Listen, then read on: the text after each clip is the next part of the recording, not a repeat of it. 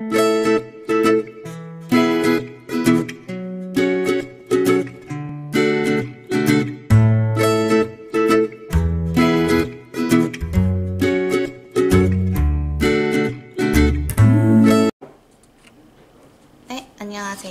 오늘은 요 코코 글리터 젤에 대해서 설명을 해봐 드리려고 합니다. 코코 글리터 젤은 이렇게 101번부터 118, 118번까지 이렇게 있어요. 그래서 요 하나하나를 다 열어서 이제 보여드릴 건데요. 간단한 사용 방법과 아트의 데코로 사용할 수 있는 방법을 한번 보여드릴까 합니다. 자, 101번 같은 경우에는 저희가 이제 쓰던 건데요.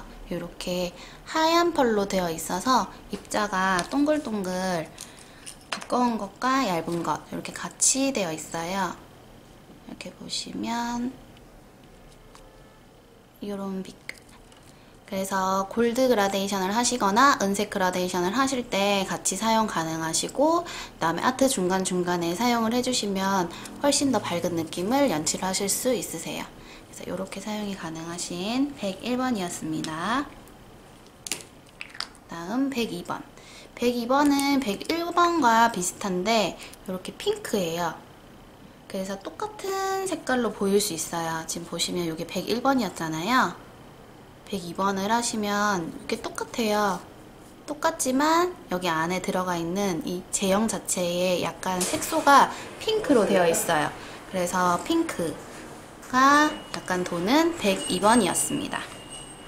다음 103번. 103번은 노랑색 펄이에요. 그래서 이렇게 노랑 펄이 이렇게 뜨면 이렇게 노랑 글리터와 흰색 글리터 같이 섞여 있는 이런 글리터 색깔로 보실 수가 있으세요. 그래서 노란색 그라데이션 한다거나 아니면은 어, 꽃을 그린다거나 할 때 이렇게 사용해 주시면 이쁜 103번입니다. 104번은 이렇게 하늘 빛깔이에요. 그래서 약간의 청록빛, 좀 에메랄드빛? 에메랄드빛과 흰색이 섞여 있는 이런 색깔 보이세요? 네, 이런 색깔로 되어 있어요. 그래서 뭐 바다 느낌을 내거나 아니면 프렌치를 하시거나 할 때 여름에 사용하시기 좀 좋은 색깔이라고 생각이 들어요. 104번이었고요. 그 다음에 105번. 105번은 이렇게 핑크와 연두 약간 어두운 핑크인데요. 어, 핑크와 연두, 은색, 그리고 뭐 실버 이런 느낌들이 같이 혼합되어 있는 아이예요. 이렇게 근데 이 아이 같은 경우에는 핑크 바닥에다가 사용하셔도 되고 연두 바닥에 사용하셔도 되고 은색 바닥에 사용하셔도 되고요. 그리고 뭐 풀립 같은 그런 아트를 했다거나 그럴 때 사용하시면 훨씬 행동감 있게 나타내 줄 수 있는 105번입니다. 106번 같은 경우는 어, 104번에 비해서 조금 더 진하다고 생각하시면 돼요. 이렇게 색깔이 좀 다르죠? 음.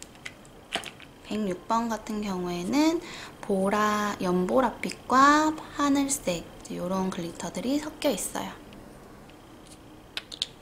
106번이었습니다. 다음 107번.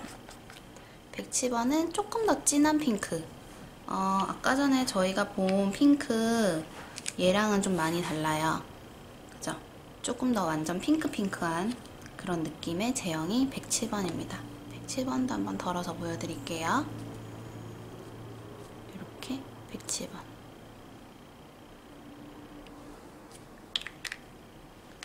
그 다음 108번. 108번은 어, 보라 느낌과 하, 파랑색 느낌이 같이 혼합되어 있는 아이입니다.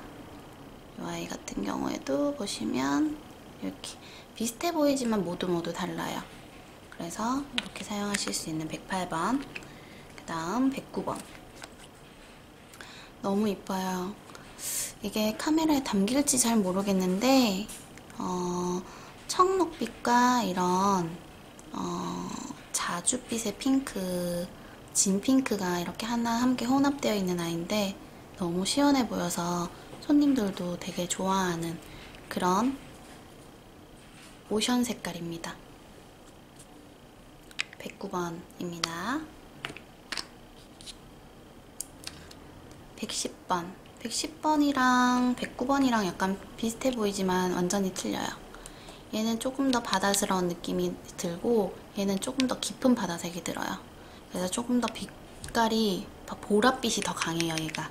보랏빛이 조금 더 강하고 파랑색 계열의 글리터고 얘는 청록에 가까우면서 어, 핫핑크가 같이 섞여 있는 글리터예요. 그래서 얘 109번, 얘는 110번. 111번 같은 경우에는 이렇게 어, 약간 빨간빛과 자주빛과 보랏빛이 다 섞여 있는 이런 오묘한 아이. 얘도 한번 볼까요? 이렇게 음.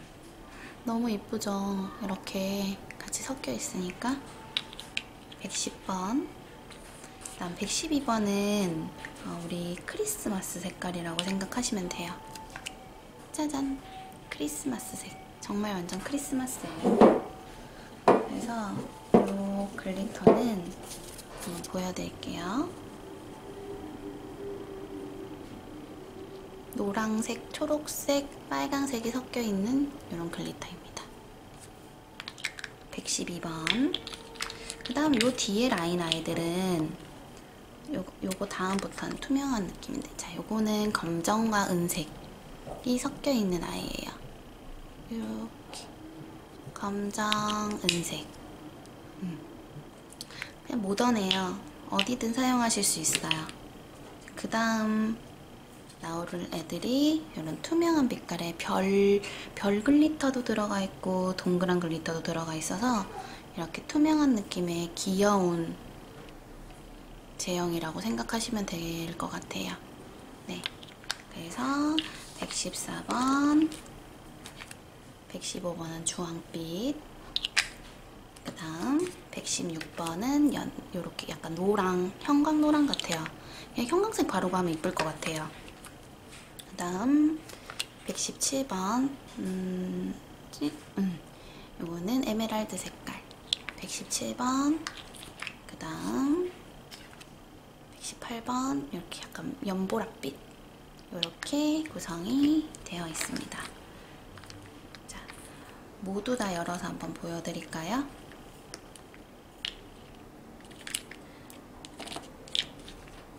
이거를 세트로 구입하실 수도 있어요.